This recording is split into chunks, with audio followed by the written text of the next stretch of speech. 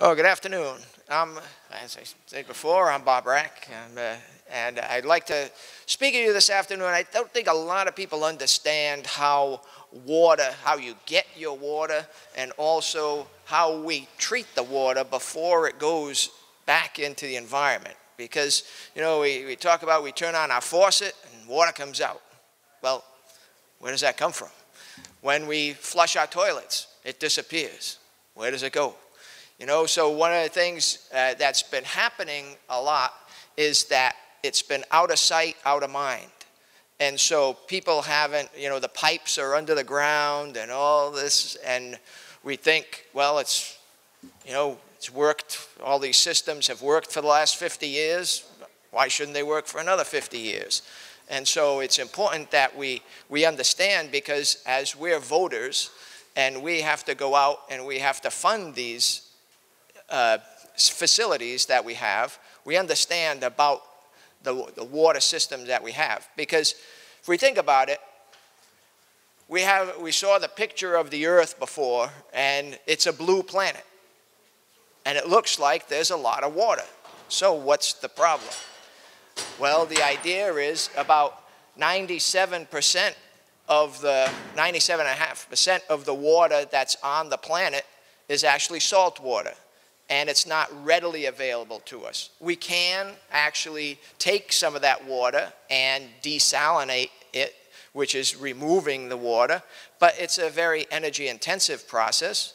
It's also, and so if you don't have water, well, you do it. And we have actually, we have two facilities in our area that are doing desalination, and I have, have had students working at one of them.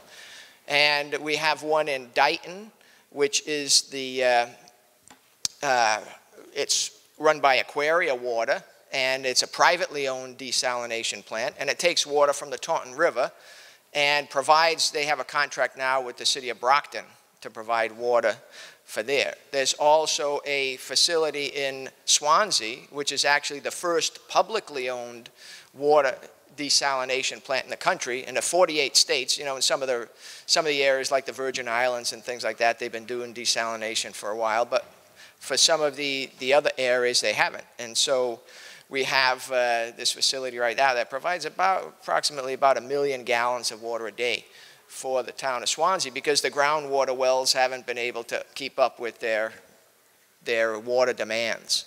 And so we're going to look at, you know, what, when we talk about the, the water systems in, just look in, in Massachusetts, we try to manage things on what's called a watershed basis. And if we look at all these areas, the different colors represent different watersheds. And generally a watershed is an area where all, it's, it's defined by the topology or the, the hilliness of an area, and it creates like a bowl type thing that all the waters in the area. This is actually the Taunton River watershed right here. So all the waters in that area will actually drain out the Taunton River and come down here and empty out. Here's the, we can see this would be Narragansett Bay down here and it comes out here. So one of the things that we have to be aware when we're managing this area is any pollution that's in those areas could eventually be moving towards one site. And so coming down the, the Taunton River. And this is important because a lot of places, you know, get their, you know, in this particular, but in, in other areas as well, get their water supply from the river. So if I'm drawing from down here, which the, some of the areas are drawing from the Dighton area, where it's drawing, pollution that could be in this area here can make its way down into the, those areas in the river. So we have to manage the area as a, a watershed and protect it so that the waters that are going to be used for our drinking water supply are cleaner. Because the cleaner the water is to start with, the easier it is to treat that water. And so some areas have like uh, some of the probably the best quality water in the country is New York City, believe it or not. And we think the reason for that is they get their water from very high in upstate New York. And years ago, they kept those areas undeveloped and things. And so they actually can have a waiver for, for what normally people have to do for treatment of water surface, which is uh, coagulation, flocculation, uh, sedimentation, filtration, those processes, they can bypass those processes because they're maintaining the water in a good state in those reservoirs that they have in, in upstate New York. But here, uh, I'll show you some of the uh, interesting, when we look at water quality, you know, this is, this is Fall River. And it's interesting when we look at the shape of Fall River, comes around like that. And it, and it isn't shaped like that by accident. The Watuppa Water Board years ago actually has water rights due to what we have water rights, riparian rights. So if you're bordering the area, you have rights to that water. So here we can see going down the Watuppa Water Board is actually uh, has uh, control or rights to the, the water that's in the area. And the Watuppa Water Board actually has rights to Stafford Pond. They have rights to South Watuppa Pond. They have rights to, this is Sawdy Pond, and this is Devol Pond. And this is the North Watuppa Pond, which is our main water supply for Fall River. The Copicut Reservoir, which is a, a reservoir that was built in the 60s, where they actually put a dam right here to block the Copicut River and capture that water. And they also have the water rights to the Noquochoke area, Lake Noquochoke in that area. So one thing we, we are in our immediate area, we are pretty blessed with water, you know, compared to other areas. But we still have times where, where the water will, you know, sometimes go down and we have to uh, reduce our water usage in, in the summertime. And so if we look, as I said, this is our main water supply for the city of Fall River. And this is us right here. This is that pond right there is this, right here, that the pale blue dot on this one is, is our pond. And we're actually here, we're in what's known as the uh, Hope Bay watershed. And the reason for that is the water that comes here in this area, we're right here, uh, and it's interesting, the water here, this pond is actually a retention pond that was built to capture the flow of water from the, from the college. And it goes in there. So it's a man-made body of water that's there. And from here, it drains out, goes down here along the river, goes under 24, and actually combines on a stream that goes into this catch basin. And in about the turn of the century, about 1905, the city of Fall River forefathers had the foresight of building a channel that went right along this here, along this side, and it captures all the any surface water that flows from the city and also groundwater that comes from this area and it's captured in here and it delivers it into South Watuppa Pond. And then here, this is the actual head of the Quequechan River, which is what Fall River was named after.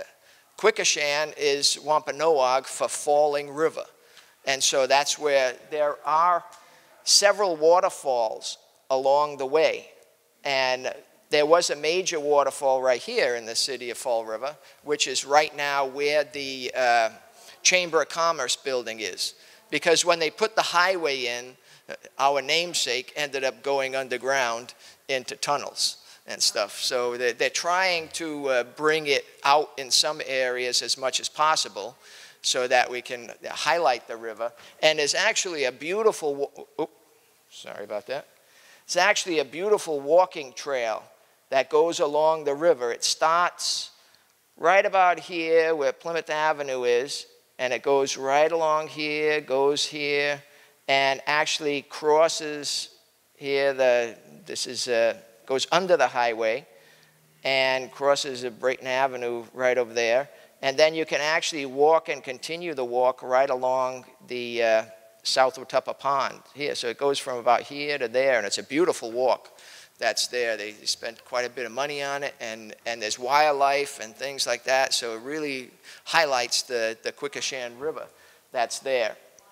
And there's actually every Wednesday now, from now until the summer, there's a, a walking tour Wednesdays at noon. So you can go down there with the Mass in Motion, and they'll lead a walk on the, on the trail.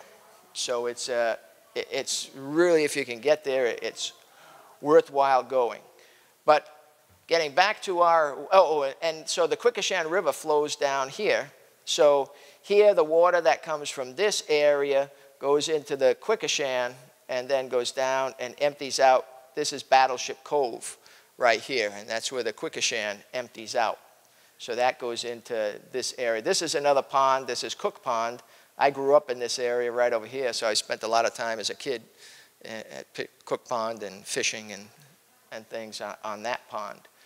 And so the water supply here for the city of Fall River, this can supply about uh, 9 million gallons a day, safe yield, and the Copicut Reservoir can provide about 6 million gallons of water. And this area over here was actually protected from development, and this area right over here is part of the, uh, the new state uh, 16,000 acre bioreserve, which is an area, conservation land, which is uh, trying to uh, allow for biodiversity of organisms in the area. So there, there's the, the Copicut Reservoir in this, uh, or the Copicut Woods and all in this area over here.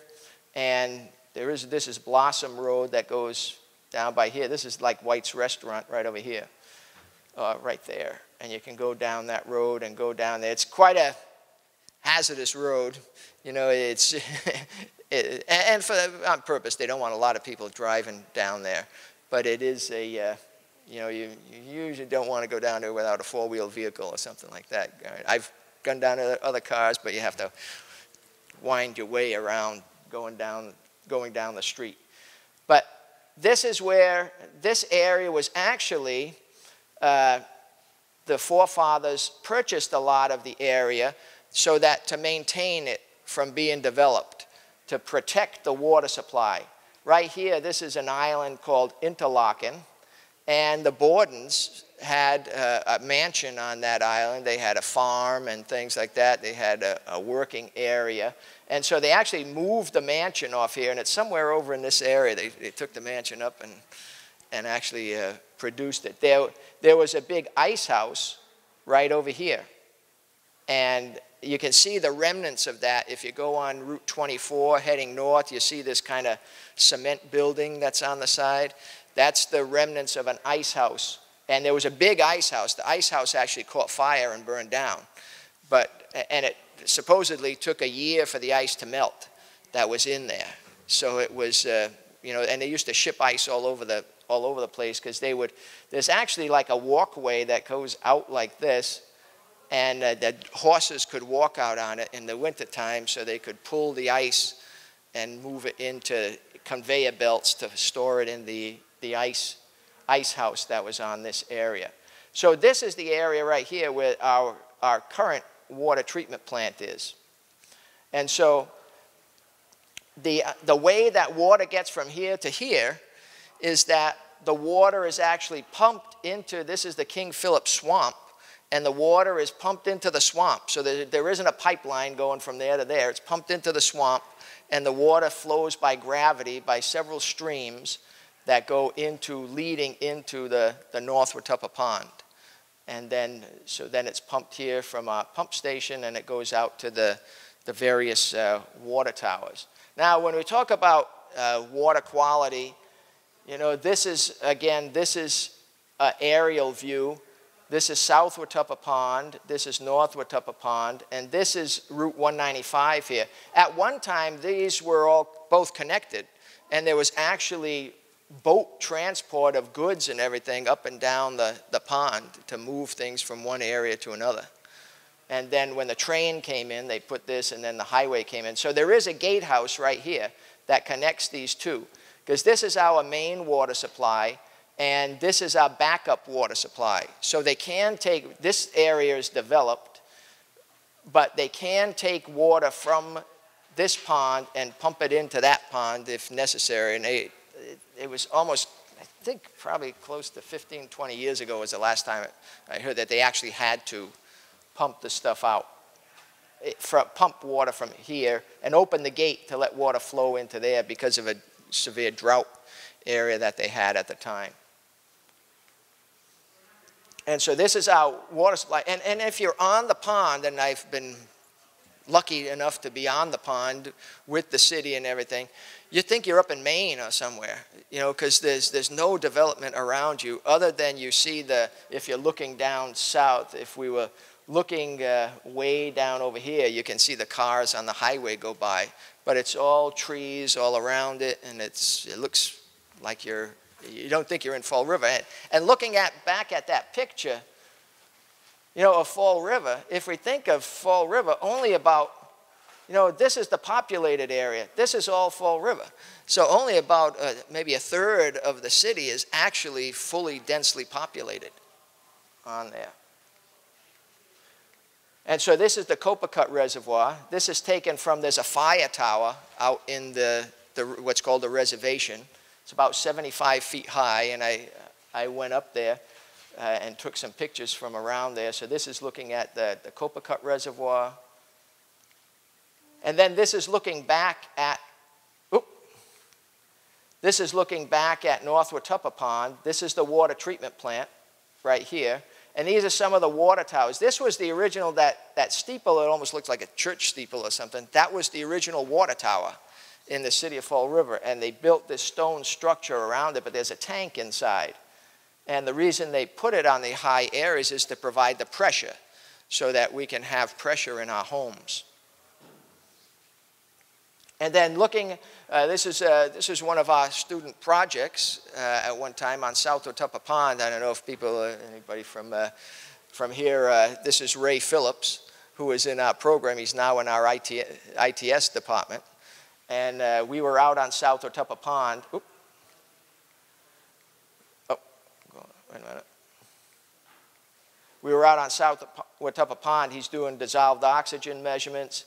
Here's this is uh, Mike Calvin and Tony Ferry, and they actually ended up working at the water treatment plants. Uh, Tony was at one of the, uh, uh, he, Tony's been all around. Mike was at the, the Fall River wastewater treatment plant working down there. So we are doing pH measurements here, and Tony's getting ready to take some coliform samples from the pond to do our, our monitoring. And now, this is actually a stream that connects two of the water supplies, connects uh, Stafford Pond to South Watuppa Pond. This is called Sucker Brook. And so when we think of, you know, why we have to treat our water, this is why, you know, people have abused these areas quite a bit in the past. And so this is looking at one area. This is looking down from that area and you can see all the uh, mess that's there. There's, that's right there is actually a, a full couch, full size couch that's in the water. And here's crates, and there's a sink over there. There's another, uh, that's not a couch, but a big board or something. So, this is called Trashing the Planet. Yes. and again, this, is, this was a project my son did for his Eagle Scout project where we cleaned the section of that brook. It's called Sucker Brook. And the reason it's called Sucker Brook is because uh, around this time of year, you have carp that leave the South Watuppa Pond and head up the, the stream. And it's a, it's a small stream, but there's carp in there like this that are going up there and they go up the river and head towards the, the uh, Stafford, Stafford Pond. And so this is some of the cleanup that we did. That's my son there in the middle, and some of his friends, some of the other scouts. And this is stuff we took out of there. And we even did get the kitchen sink. so we, we took that out and there's tires and all this kind of, you know, that was one pile of things. So if we think there was one section where people actually at the John Boyd Daycare Center, people took uh, the picnic tables that were for the daycare center and threw them over a six foot fence into the stream next to it. Now you, you, you wonder what, what the purpose of that was, but they did it. yeah. And so this was the stream afterwards. This was that same stream that we saw before that was all cluttered with material looking down and everything. So, uh, and we actually did a study. I was doing a study of the stream on, on coliform counts, and we noticed that, uh, and coliform are bacteria that we have that are used as indicator organisms for pollution. Because we have coliform bacteria in our bodies, and without those bacteria, we can't survive because the bacteria break down the materials in our guts and everything, and and provide, uh, dissolve it, so, or break it down so it can go into our bloodstream and all. And fecal coliform is one of the coliforms that comes from our waste. So I was doing a study of fecal coliform on this stream, and I found that it was going, it was very low, very low, very low, very low. All of a sudden it shot up. There was nothing, all of a sudden it shot up and then gradually made its way down. And I did this number of times went up and everything. So I went to the Board of Health and I said, there's something going on on the stream. And so we, we looked around with the Board of Health. They were able to go on the properties and everything. And there was one person on the stream that had rabbits. They were raising rabbits. And they put the pen right over the stream.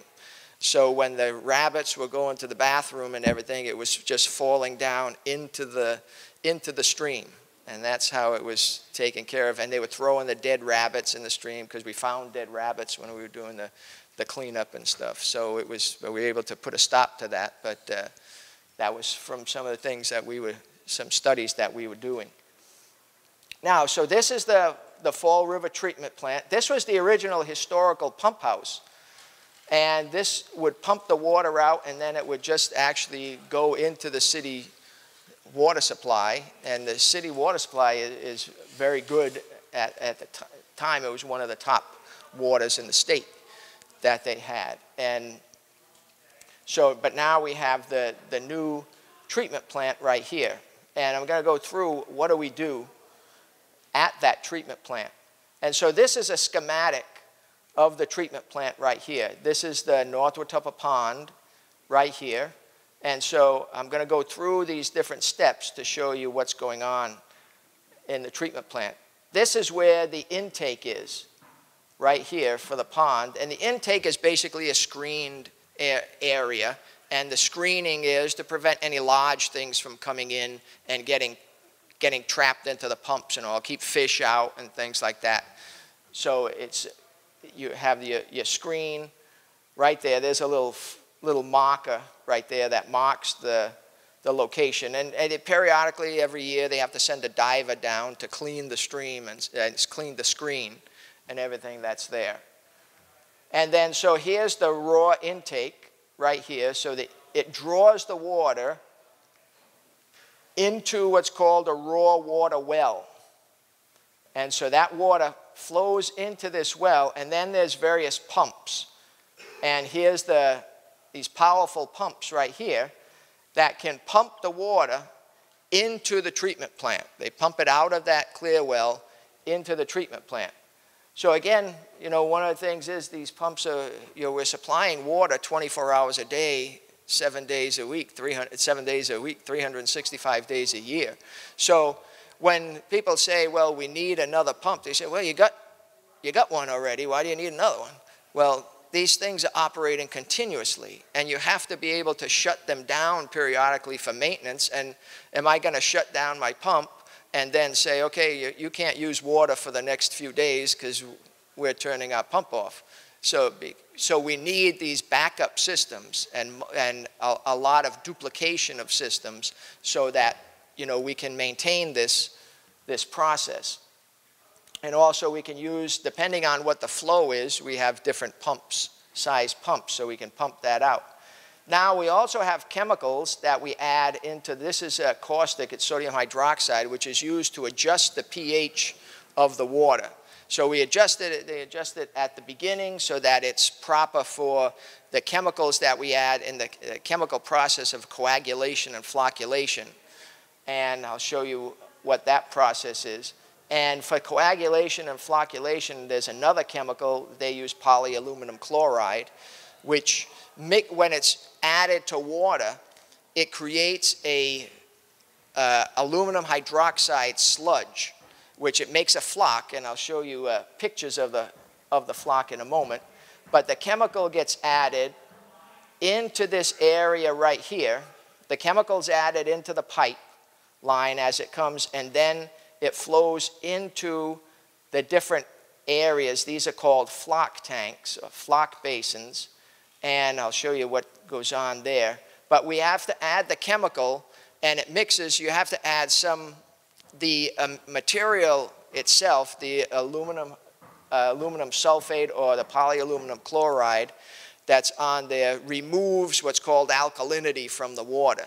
So we have to add some other alkalinity in there in the source so they can add some sodium hydroxide in there as a, an alkalinity source to maintain the pH at a certain level so that it, it, it forms the floc that we want and it precipitates out into the, uh, the floc. And so this feeds in, like there's flash mixers right here, but they're not using the flash mixers right now. What they're using is they actually have the ability, the way they put it into the pipe, it's mixing automatically in the pipe without needing a, a separate mixer, so that saves some uh, energy usage. Then it goes into these floc tanks, and it, uh, this is a this is what the flash mixer looks like. So the tanks that we're looking at are under the floor here.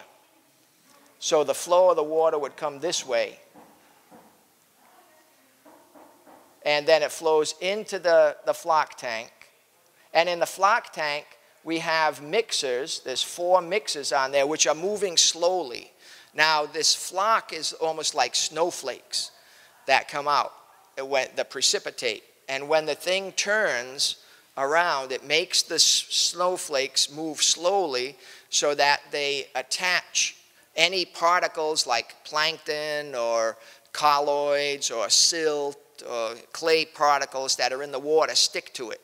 And then, it may, and then in the slow mixing on there, the smaller floc particles attach to the largest floc particles so they get heavier. And these are the, the floc mixes right here. There's one here, one there, and there's three of these, and there's one over here and one over there. And so there's three of these tanks in the system. And then this is looking in, they have a light in there so you can see, and I'll show you the next slide. So this is what it looks like. It almost looks like a snow globe. You know, when you shake the snow globe and you get all this, all these particles. So there's all these particles of, of the aluminum hydroxide sludge, or, or floc particles. They're not sludge yet. And then from there, after it mixes slowly in there, it moves into a large settling basin. And in this large settling basin, that allows that floc material to settle down. And these are fairly large. And you see it goes down. This is where they, it comes out. And so this is looking outside. And the flock tanks run, or the sedimentation basins run from right here all the way down here to here. So they're very large basins, but we have to make it so that the water is slowed down and it has a detention time, a certain time in there, so it allows time for that floc material to settle out before it goes out into the next step. And the next step is the filters. And these are rapid sand filters. And so the water moves into these filters.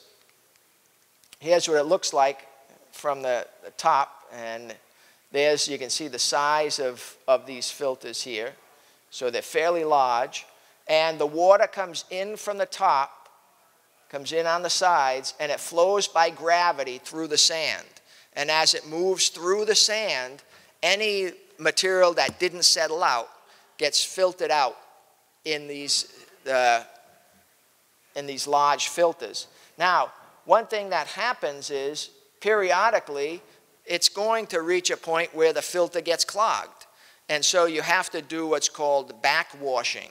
So you actually have to have the water flowing back up. So the water's going downwards when it's filtering, but then when you want to clean it, you make the water flow upwards. So it washes that stuff off the, off the top of the filter.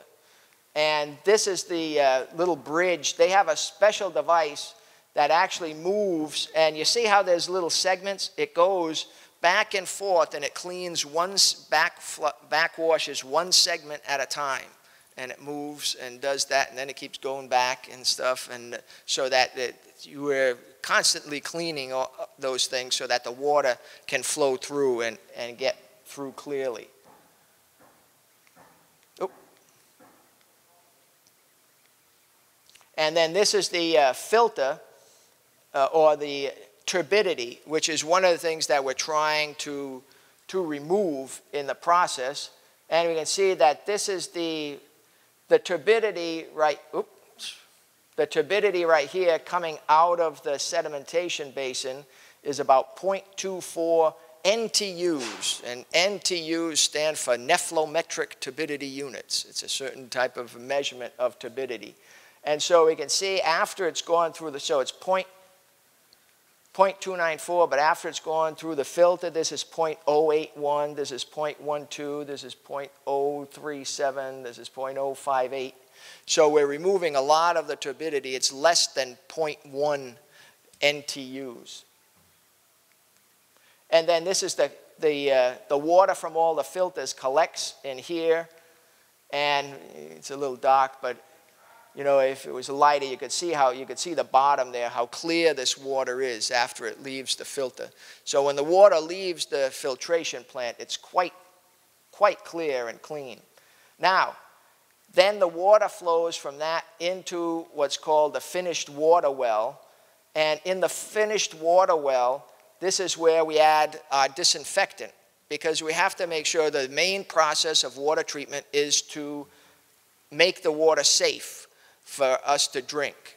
So there are, are ways that, different ways of, of disinfecting, but chlorine is the most common, it's been, it's most commonly used disinfectant because it's, it's relatively cheap, it's easy to use, and it does a very effective job on there. But one thing about chlorine is there's things called disinfectant byproducts that you have to watch out for. And so if there's organic material present in the water and you treat it with chlorine, you can actually create what's known as trihalomethanes. And these trihalomethanes are actually carcinogens. So you can create some carcinogens in your process of treating the water. So what you have to do is you have to measure the organic material that's present in the water and you have to remove that prior to putting in the, the, the chlorine. So other places have used different types of, of chlorinated compounds, chloramines, ultraviolet light, uh, bromines, and things like that as uh, disinfectants. Now, another thing, that, and so this is one of the ways the city has since changed this and just recently put in hypochlorite, which is bleach. So, using chlorine gas in cylinders is a, is a fairly dangerous thing. You know, you have to, you, you can handle it safely and all, but it, it, you have to be trained in how you use it. it. The hypochlorite is bleach like you have in a bottle you know, you buy in a store they add that. It's much safer and used. Yep.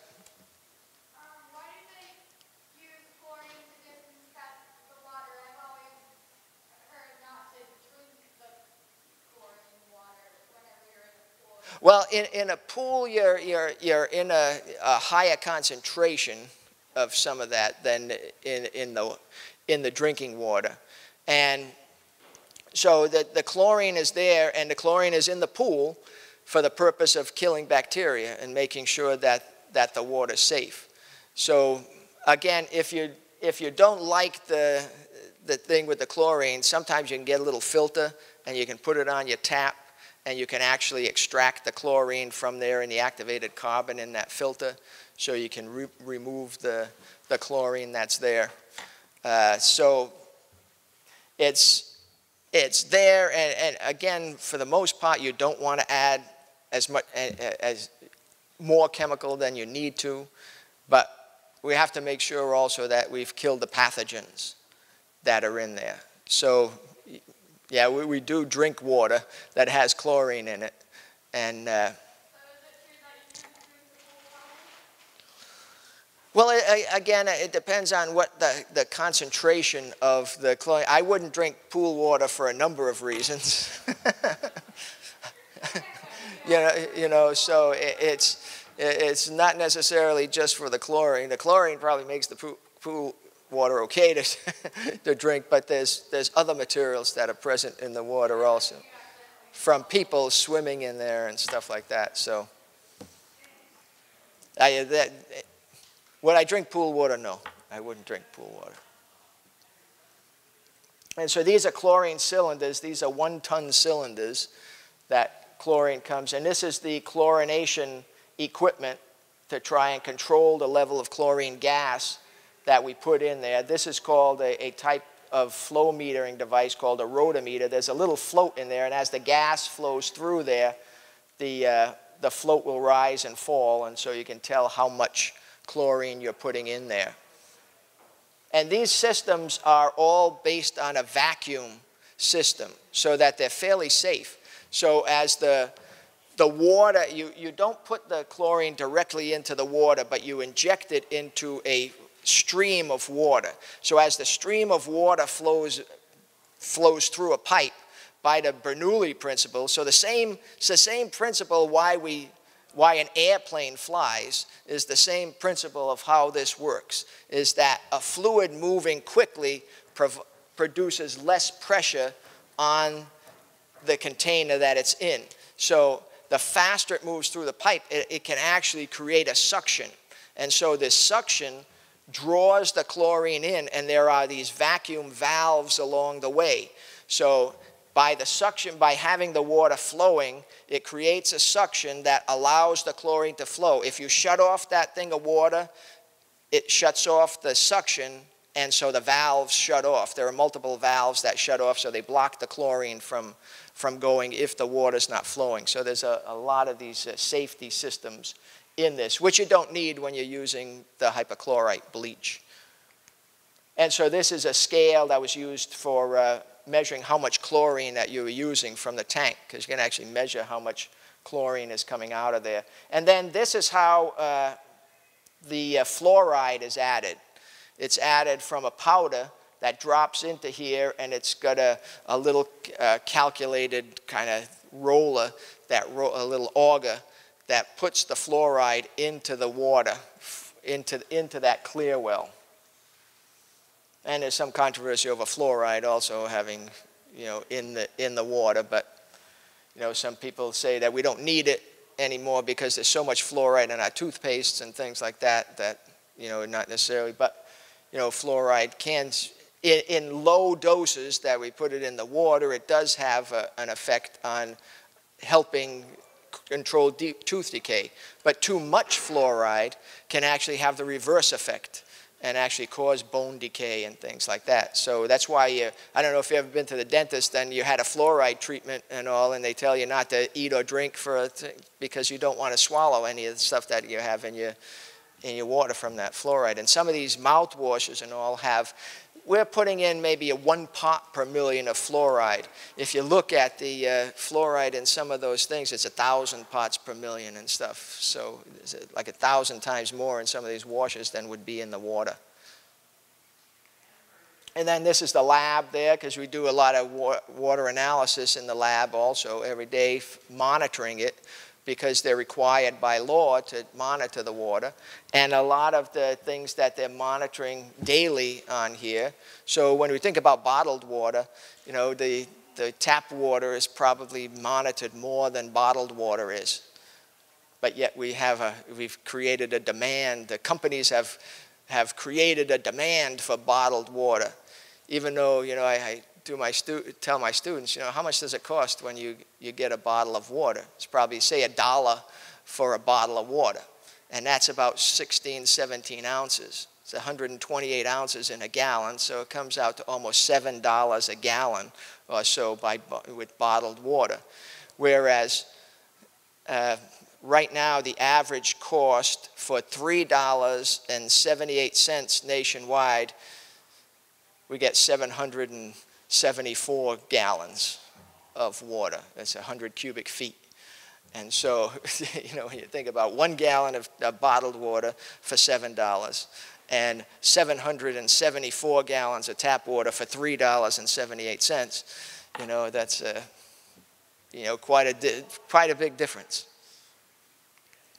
And so these are the pumps that pump the water into the distribution system.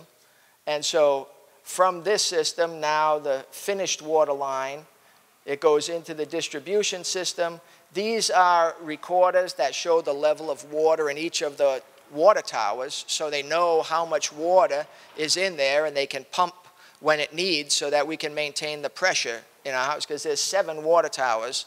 Oh, we go? We got another one too uh, in, uh, in the new one in the industrial park now. And so these are some, looking at some of the water towers right here. There's two of them, and some.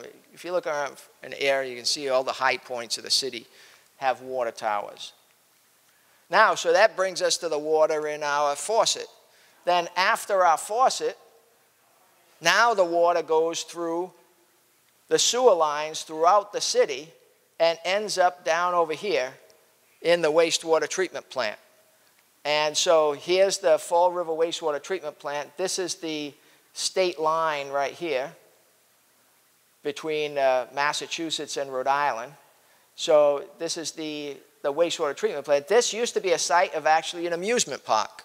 It was Sandy Beach Amusement Park back, it was destroyed by the 1938 hurricane. And there were rides and everything down there. There was Sandy Beach and all, and, and all, all in this area.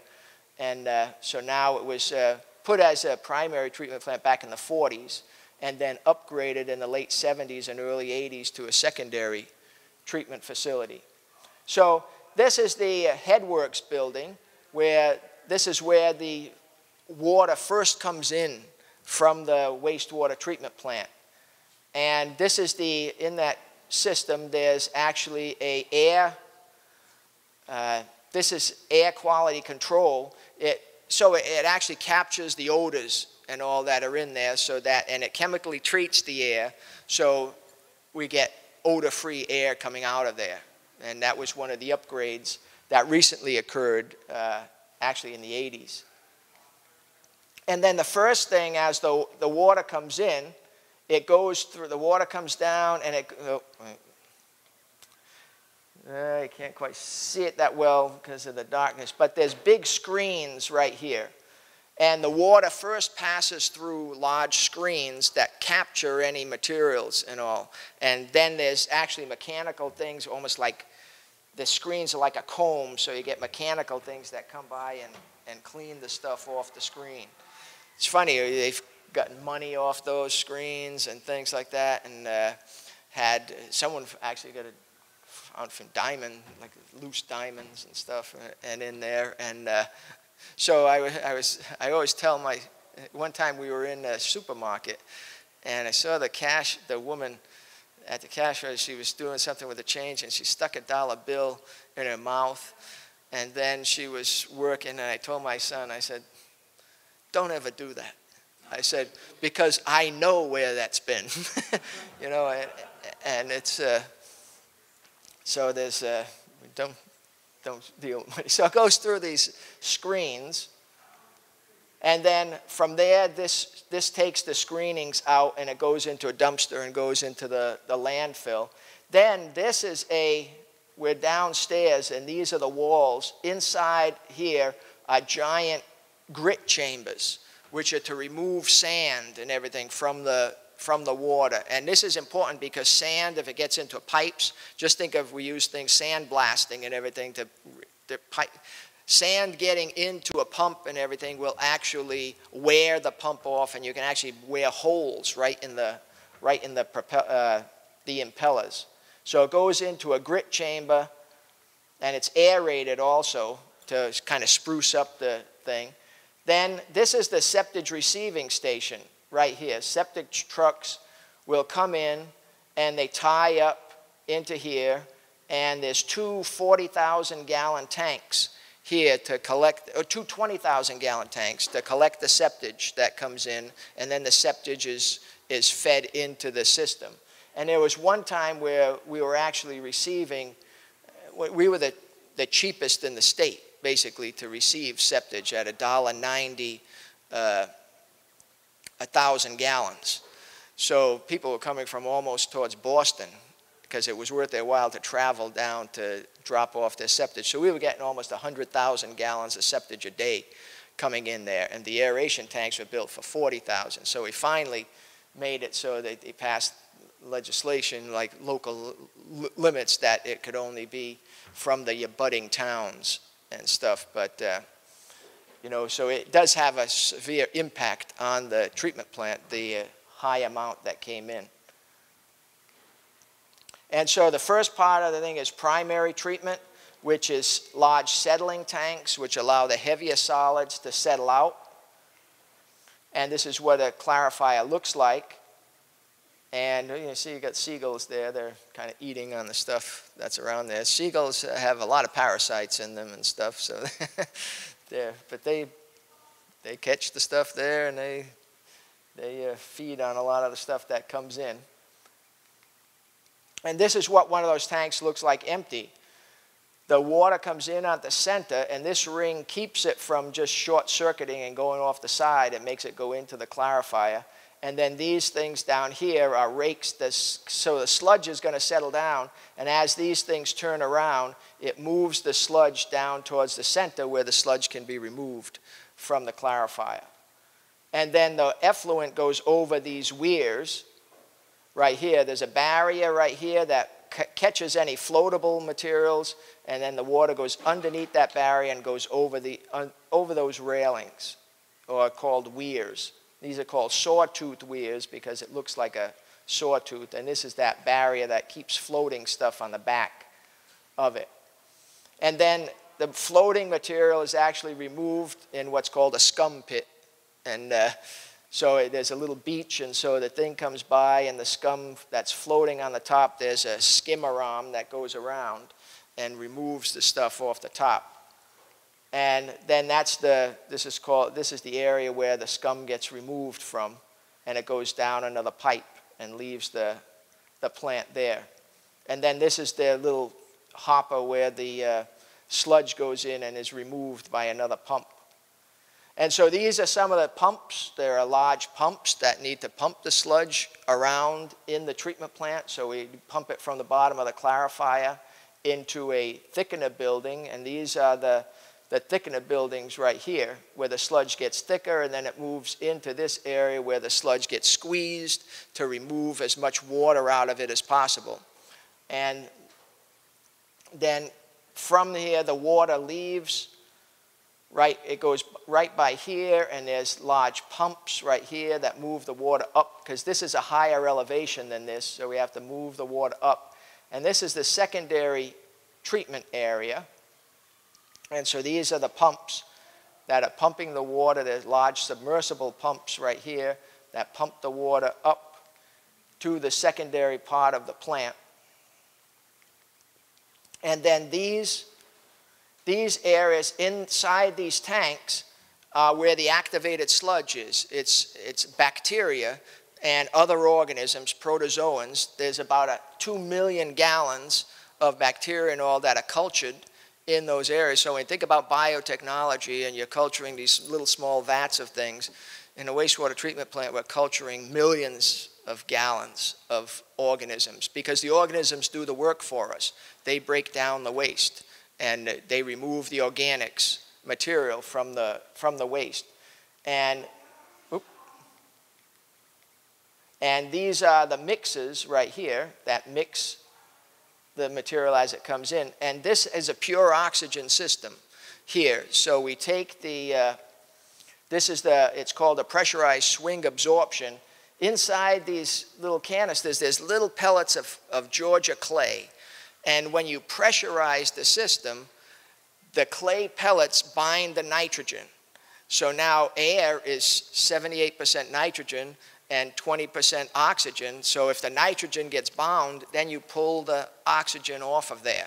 And now you have almost pure oxygen that comes off. And this system is designed to make about 21 tons of oxygen a day coming from, from here. And this is a backup system right here of liquid oxygen.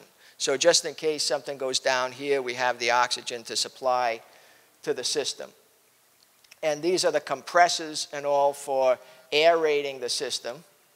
And this is this device is this is a bunch of valves and everything because you have these three things and it's called pressurized swing adsorption.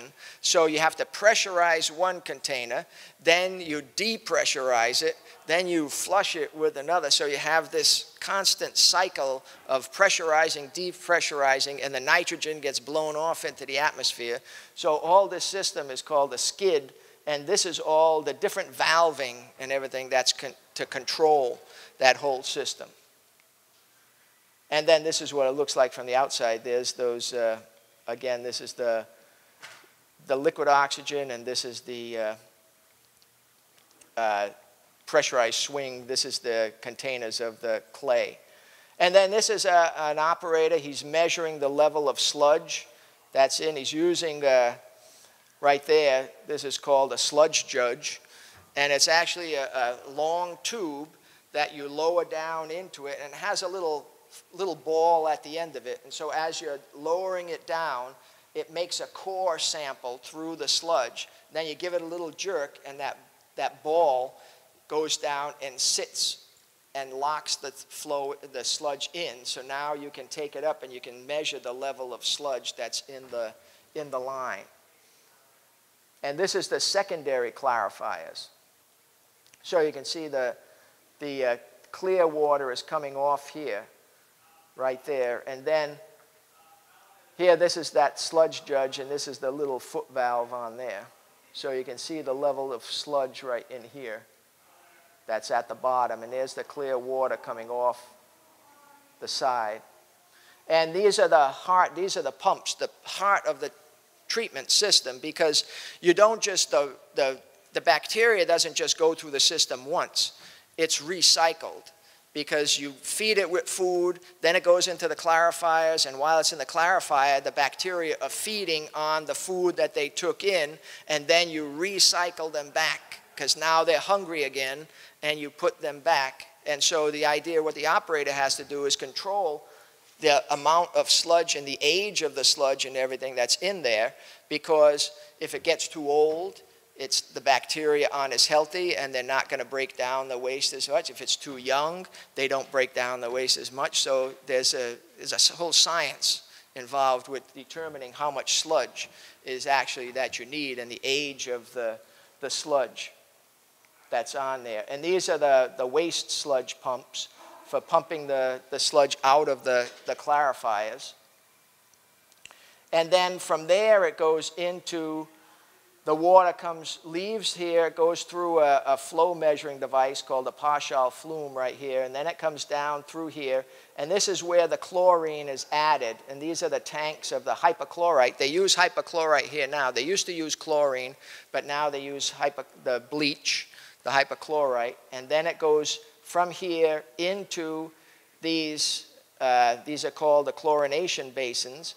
And you can see how it's almost like a you know, going almost like a, you know, you know, a maze where it goes like that. And the purpose of that is to allow enough time for the bacteria to, the chlorine to be in contact with the water so it can do its disinfection. And so these are the tanks of hypochlorite over here. And these are the samplers because we have to take samples at different areas. This was a tour we were on. And these are the sodium hypochlorite pumps that pump the. And so then what we have from there, these are the, the chlorine areas right there, that chlorine basin. And then now what we have to do, they found that there was a time where we were required to discharge our effluent at a 0.5 to 1.5 milligrams per liter of chlorine, putting it into the bay. Uh, We discharge into the Mount Hope Bay. But they found through studies that that was enough to cause some negative effects on the environment. So we, now they have to dechlorinate.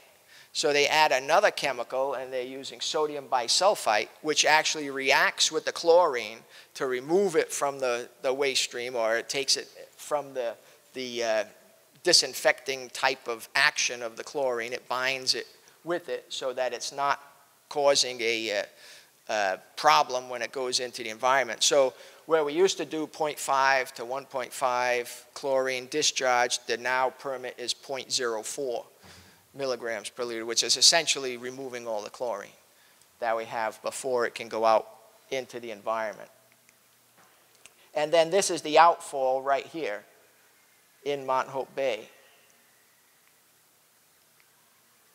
And so now we have the solids handling facility.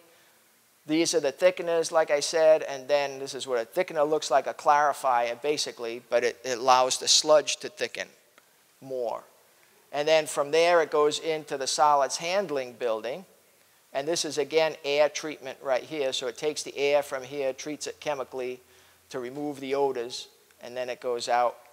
And then we have these large filter presses which squeeze the sludge to squeeze the water out of the sludge because you don't want to be, uh, you, want, you don't want to have to deal with, with heavier sludge, you know, because you're paying for to, to deal with water. So we try and get rid of as much water as possible. And here's the sludge uh, right there is a sludge cake coming off there. And now, right uh, from there, they used to burn the sludge in an incinerator. And here the, you can see the, the fire burning in there. And the sludge would go in there. It was a multiple hearth furnace, so it would go in the top and dry completely, then go into burning areas, and then go into a cooling area. And it was funny when we first got this all approved by the, because when I, I used to work at the wastewater treatment plant, and we had it going. We told the neighborhood that the incinerator is going, and there was nothing coming out the stack. So they were complaining that we weren't actually burning anything because nothing's coming out the stack. And we said that's because the systems are working properly. You shouldn't see anything coming out the stack. So we actually brought the film TV crews in to show that we were actually burning the sludge and it was on the news that we were actually burning the stuff. It was just nothing was coming out of the stack because the system was working properly to remove the, the particles from there. And so this was the incinerator stack right here.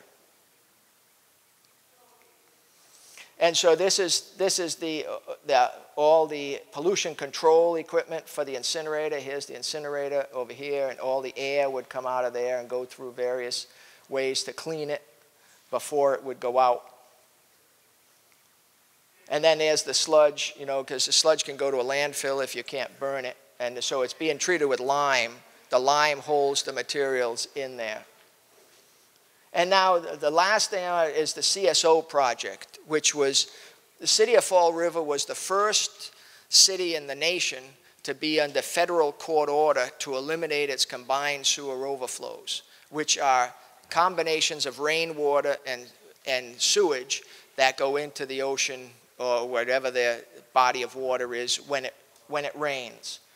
And so here is the, what they did was they built a pipeline underneath the city. It's a 20 diameter, 20 foot diameter pipe that's about three miles long. And it catches, there used to be 19 combined sewer overflows that would flow whoop, into the Quequechan River, flow into the Taunton River, and also flow into Mount Hope Bay and because part of Fall River's up here. So this portion of the city was done with the tunnel. The northern portion of the city is done with treatment at pump stations that the things are directed to, and then it goes out into the, the ocean. So it's, it's treated. All this water that's captured, this can hold 86 million gallons, And what it would do, it fills this and it flows by gravity to the wastewater treatment plant down there. In a lot of places, they, they put these in and they have to pump it out of there. But in Fall River, it flows by gravity to it. And this is, so, this is looking at how the lines go. This, is the, this would be, you know, this, this would be the city compressed. And these are the main drop shafts where the sewers tie into. And then it goes into the flow down here. And there still is an overflow for that, that tunnel, which is the estimated there could be some times where you still could get an overflow, but the rest of it will flow gradually to the wastewater treatment plant and be treated rather than go into, directly out uh, into the uh, bay. It was funny, when I was a kid, I was out fishing at one place, and I was looking around, and you know, there was uh, fecal matter floating around and everything, and I wondered, gee, where is that coming from, you know, the houses and everything. It wasn't until later on, and I worked at the plant, that I realized what I was fishing off of was one of those combined sewer overflows. And they had problems at the time, they weren't cleaned out and everything, so they were actually getting dry weather overflows at, at the times. And so it was uh, live and learn, as they say. and so this is where the area where the, the thing starts, where the uh, combined sewer overflow tunnel starts. And so what they did was they dug down right here a hole to expose the granite face. And there's granite under the city of Fall River, there's a bedrock. And the guys who did this tunneling were the same guys that did the tunnel between England and France, and they did the tunnels in South Africa and all. And they said this was the best granite they had ever cut through in the, in the world when they've done stuff, and it, which made it very uh, economic because this is the tool that they use. This is called a mole, and these are all bits on here. So this is the size of the, the hole that they'll drill, and it has a whole train behind it. And this contains a whole machine shop and everything because when you're down there and something happens, you're not going to want to pull this thing back. So you have to work on it and everything. And also, these are cars behind here where all the material that would be cut off would be put in. So then you can break it, take it out by a train. And so here's the, the start of it when they were first cutting into the, making the first cut. And you can see these are where all the, all the blades are. So they could do about 30 to 60 feet a day. That's about how long it would take to, to cut through that area. And this is me down in the, the tunnel. And so you can see the, the rock. This is just the face of the granite all around like this. Now, what was good about this was they didn't have to grout it. Because normally what you do is when you cut through there, you have to grout it to seal it to keep the water in. They didn't have to do that with this because it was such solid granite. So the machine could actually, once they were done, they could bring it back. Whereas most places, they have to just drill it a little further and then seal it up down there. So they saved, you know, a million, couple of million dollars for this machine and everything by being able to bring it, bring it back. And so I said I'd talk about careers quickly. We have a $602,000 grant for training for water and wastewater treatment systems here, and I've put some, I have information there about our programs, and right now the careers in the water and wastewater field are wide open. There, are, just this week I got three job looking for three job offers for people throughout, two in Fall River and one in Marlboro, and I've got another one in Brockton and, I, and the other place, East Providence. So the people send me the things for our, our people. I don't have enough people to, to fill their positions. I'm hoping to expand our program and get more people get more people into the program, but it's hard to get people to come out of uh, from high school and their first thought isn't working at a water treatment plant or a wastewater treatment plant. So, you know, oftentimes you get people coming from other careers that have tried something else and didn't work and then they come back. So we're hoping to make the awareness into other, other, other areas and working. We bring high schools in here to see the, our blue center and everything and work with there and do training and uh, So we're trying to, and I'm making uh, programs now that are hybrid and online programs, so students only have to actually come to college a half a day a week in order to, to fulfill the stuff on the program. And so we're trying to get it so people who are already in the field can advance themselves and stuff. So it's a, it's a, it's a tough thing trying to get people to come into, but they're full-time jobs, full benefits, overtime, you know, anything that you, you want, you got it, yeah. What's the starting salary? Starting salaries are in the range of about 18 to 20 dollars an hour, coming out right, say from taking a class here, or it would, you know, you don't even need your associate degree, and, and you can be making that. And uh, some places it's 25 dollars an hour, depending on, uh, and you can right now you can get a job almost anywhere in the country, because everybody's hurting for people. Yes, we have uh, the associate degree program and a certificate program. We're launching two new certificate programs in the fall, one for drinking water, and now we're calling it, rather than wastewater, we're calling it clean water technology, because they're trying to change the image of stuff as being, not water is not wasted, it has to be reused and cleaned and put back into use. Thank you. Again, thank you all for coming, and uh,